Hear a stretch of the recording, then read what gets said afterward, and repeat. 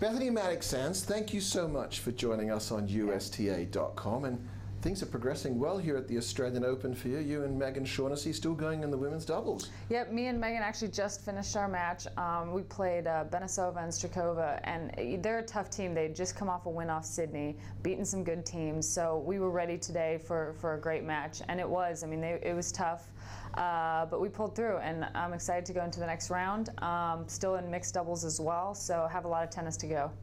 How are you enjoying the Australian Open? Uh, Australian Open is one of my favorite play uh, events. They they do a great job here. I mean, you're here in Melbourne. You get to stay in the city, walk around. It, it's a great atmosphere.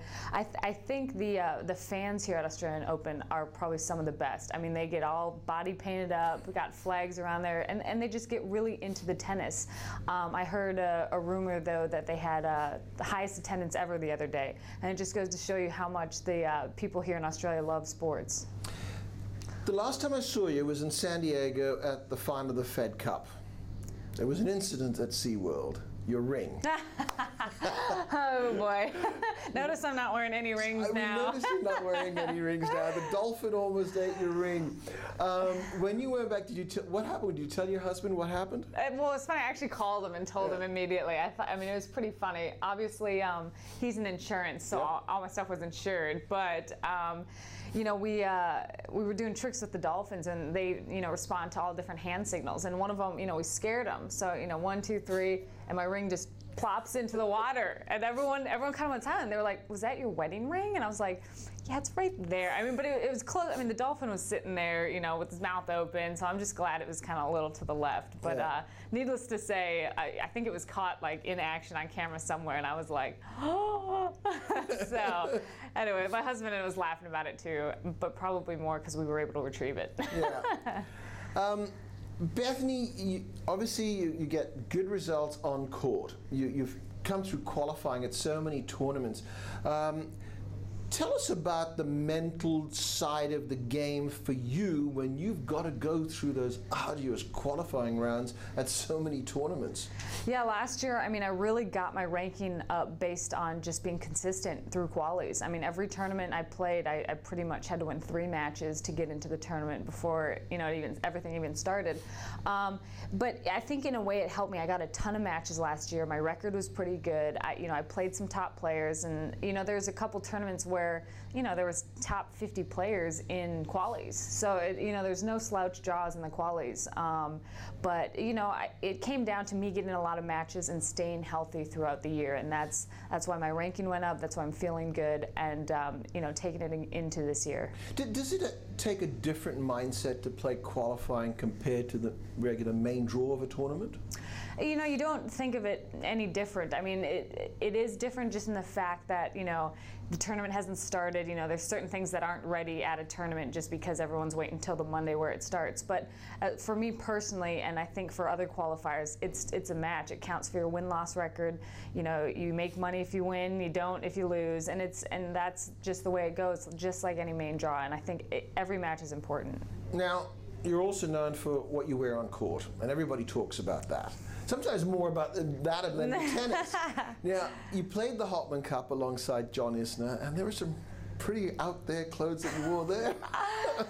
You know what? I'm going to have to say Nicolas Mahut outdid me. Yes, he did. I mean, plain and simple. I was, uh, he wore his partner's Lacoste dress for our mixed doubles exhibition, if you will. And uh, he's a blast. I mean, he's hilarious. Obviously, had his whirlwinds uh, five setter match at Wimbledon with Isner, and then they repeated, you know, a match in Hopman Cup. But um, you know what? I think that just brings more fun to the game. I mean, there's too many times, again, I'll say, I'm sure I've said this before, you know, players are dressed the same head to toe toe. And you almost on TV, I can't even tell who's who. You know, both have blonde hair or something like that. I mean, I, you know, what's a fan to think? So, you know, it's it's my personality. I'm like that off the court. Um, fashion's always been an interest for me, and um, you know, it's it's about being fun, staying relaxed, and I play better when I have that mentality, anyways. So, how do you actually choose? What makes you decide what you're going to wear?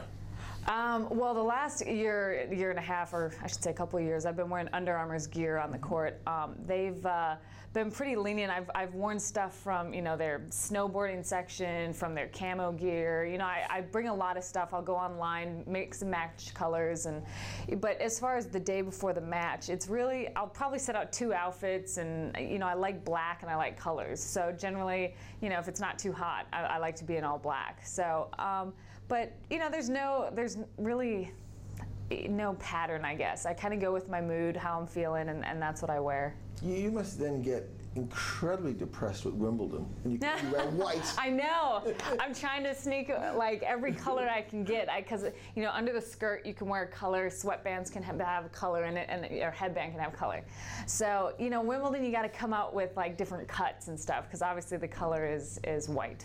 Well, maybe. What about painting a different color on every fingernail? Uh, you know what? I, I haven't gotten there yet. Um, but Wozniacki's actually always got pretty colorful nails, and there's a few girls on tour that all do their own nails, and they're like they're awesome at it. I, am just not, I'm not that talented, no, so really?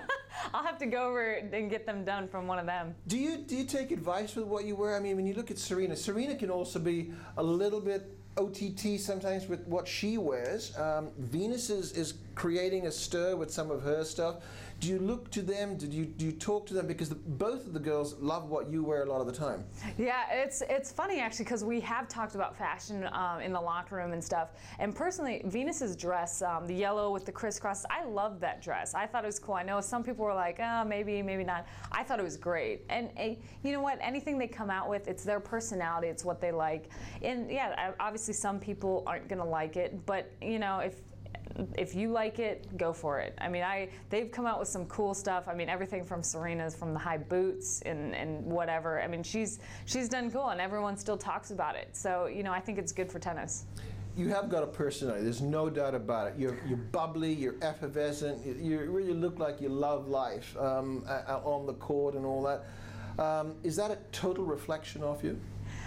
Definitely. I mean, it's. Uh, I definitely go through certain stages of my life, and my husband can attest to that, where I'm down in the dumps and you know not feeling great. But for the most part, uh, you know, I've really come to think that life is short, and I only have a little bit of time to even play tennis or even to to make a difference in somebody's life or to say something nice to somebody. And I, and I really want to do that. And um, so I really just take advantage and I try to live in the moment. I'm really not a big thinking of the past, you know, worried about the future. It's all you can control is now. So that's hopefully how I come across. On that note, Bethanie Mattek-Sands, thank you for joining us on USTA.com. Thank you very much.